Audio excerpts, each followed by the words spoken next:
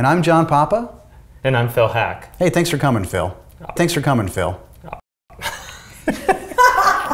I left you hanging. well, you went like that, and I thought you were reaching for a handshake. I was like, oh, you did. Okay.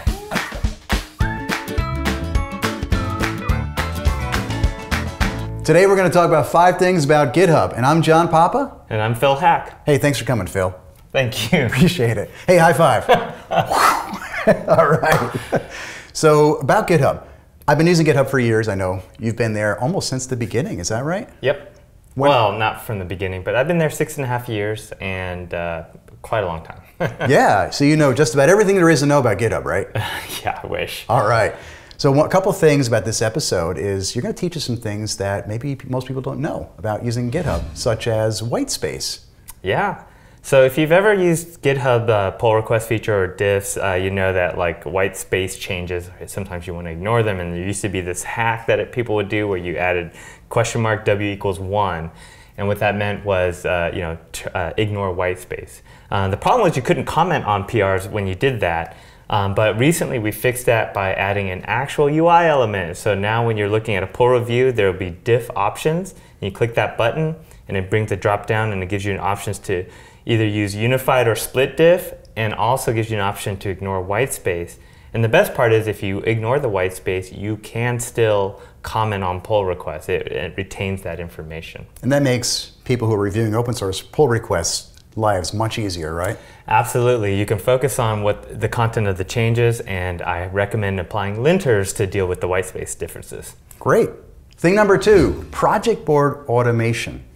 So in GitHub, is this to help with like issues and PRs that can mount up in your projects? Yes, um, if you're a project team, whether you're working on open source or on you know uh, internal project, uh, managing sort of when things happen and all that can be challenging. So uh, what not a lot of people know that is that GitHub has project boards, which are kind of like Trello boards um, or Kanban boards, is what some people call them. Mm-hmm. And you can put you know items in swim lanes. Um, but what's really cool is if you when you create a board, there's now project automation as well. So you can say like, oh, when this issue is closed, automatic move, automatically move it from this column to this column. And um, what's really neat also is that you know a lot of real projects actually consist of a lot of different repositories. And so you can have one project board um, have a card that rep uh, represents the status of another project board by simply creating a note and cut, cut and paste the URL of the other project board. And then that card will stay up to date with the other project board. So for example, if you had like a node project and you were also working on some dependencies, uh, you might have cards for each of the dependencies that point to their project boards. Oh, very cool. And we can learn about that here from the link? Uh, right here. Awesome. Am I going to get a Snapchat filter if I misbehave, right? Probably, yes. Thing number three, GitHub Desktop. I haven't used this recently, so tell me what's changed and what's there. So the last time you used it, we were two apps, one for the Mac, one for the Windows, uh, written in uh, native technologies like WPF and C Sharp on the Windows side, um, Objective-C, Swift, and Cocoa on the Mac side. And a couple years ago, we rewrote it in Electron. Uh, so for those who don't know, Electron is a cross-platform desktop technology uh, based on Chromium and Node so that you can use your web technologies to build a client application. And apps like Atom, VS Code, and Slack are built in Electron, right? Exactly. Yeah. And so we rebuilt desktop on it, and now um, it runs on Mac and Windows, and uh, there's a community effort to run it on Linux. And um, what's really cool about it is uh, it gives you a nice visualization for like creating commits, uh, especially you know, even if you're someone who is really proficient in the command line, you might use the desktop app to create partial commits.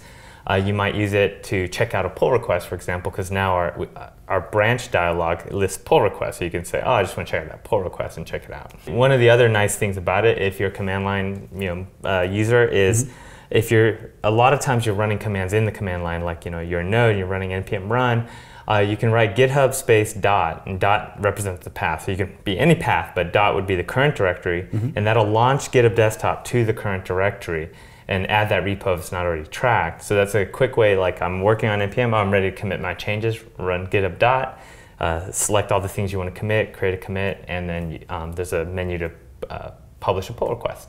So awesome. all from desktop. Great, and we can get it from here? Uh, yeah, right there. Right there. Oh, there. Okay. Yeah, right there. Somewhere. Somewhere. Right there. Right there. I'm just doing it because I wanted to clap. I felt left out.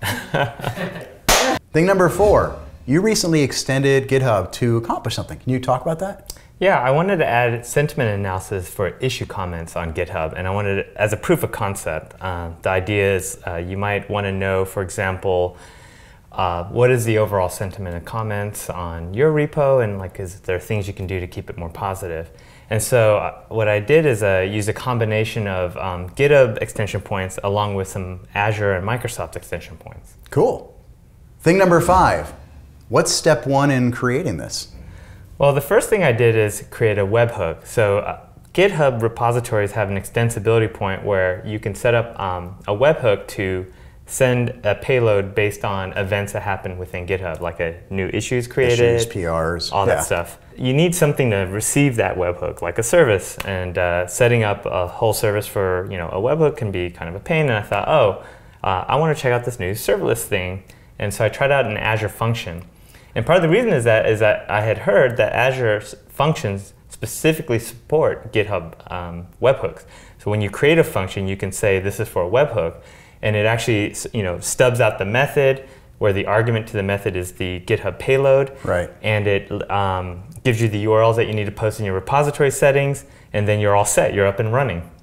So functions aren't just for HTTP backends. You can also use GitHub webhooks. That's Yeah. great. Thing number six, somebody posts an issue and you have to analyze the text. How do you do that? Well, I thought about hiring a thousand people to review every issue as it came in, but uh, what I realized was um, there are some really interesting AI out there or uh, machine learning algorithms that can do that, but I don't know how to do that stuff. So I looked at uh, Microsoft Cognitive Services, and they have really cool, distinct services that are very uh, specific and focused on accomplishing a task. And so I called the textual analysis um, service. And what's nice is I could use NuGet within Azure Functions to get the API, use that to call that service, do the text analysis, and then um, that would tell me whether the sentiment of the comment was positive or negative. So basically, there's an API with cognitive services where you just pass in here's the text and you it tells you kind of what that sentiment looks like. Exactly. It even tells you what language the text is in if you needed that information. So it's really cool. Very cool. Thing number seven, once you've figured out what the sentiment is, what do you do with it? Well, so what I wanted to do was update the comment with a sentiment score, um, but I do this as a proof of concept. I highly recommend not having a robot uh, admonish people for being negative or positive. Right. Um, but as a proof of concept, I wanted to update the comment, and so what I did was I used Octokit, uh, which is our uh, client API. We have one for C Sharp and um, other languages, and um, use that to call our web a- uh, GitHub's web API. So we have an API for um, that gets you access to just about any data in GitHub. Uh, we also, you know, I want to put a plug in. We also have uh, a new GraphQL API, so that's uh, starting to get fleshed out and gives you a lot more um, info. Um, but with that, with Octokit, I was able to just, uh, you know, find the comment, find the uh, issue that it was on, and then update that comment with a sentiment score. And I, and if you go to this URL, you can see it in action. Is that to your blog post? Uh, that's uh, no. This one is to the blog post. Oh, that's the blog post. Yeah, and this one- the one to the Octokit. That's the, the repository where I set up this webhook, and uh, if you post a comment to it, it will show you the sentiment score. Bonus thing. Not everybody has your personal email address, which is right here, by the way. So, how do people keep up with changes in GitHub? Uh, so the great news is we have a new uh, change log, which is a log of changes. Really? Yeah, and uh, if you go to this URL right there, um, you'll see all the new features that are coming uh, or that have recently been released from GitHub. So it's a great way to keep track of all these new things because I know it can be hard to keep track of. Excellent. Hey, Phil, thanks for coming in. This has been great. It's been my pleasure. And has been five things about GitHub.